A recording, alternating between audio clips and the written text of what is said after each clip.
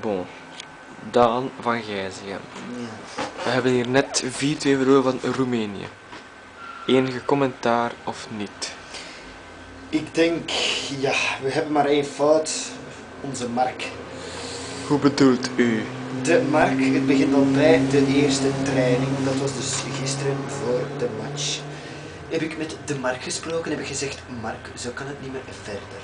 Mark was zodanig positief ingesteld dat hem zei, jongens, je moet het positivisme inzien.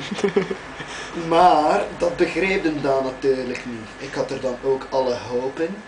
Zei Mark, oké, we gaan ervoor. Dan kwam de match. 10 minuten gespeeld, 1-0. 20 minuten gespeeld, 2-0. Oké, met de rust 2-2. Maar de blunder van de match. 5 minuten voor de rust. Wat gebeurde er? De gouden wissel. Davy van den Broek kreeg een applaus voor wegens twee mooie potten. En Marco wou hem sparen voor de volgende twee matchen. Dat dacht ik ook. Ja, dacht ik ook. Zo had ik het nog niet bekeken. En waar lag de fout dan in de tweede helft? Ja, we moesten het dus doen zonder de Davy. Dat was al direct een hele mindere situatie. Dus eh, daar lag de fout eigenlijk. En natuurlijk ook bij Stijn en Nico. Maar ja, Oh, dat moet erbij.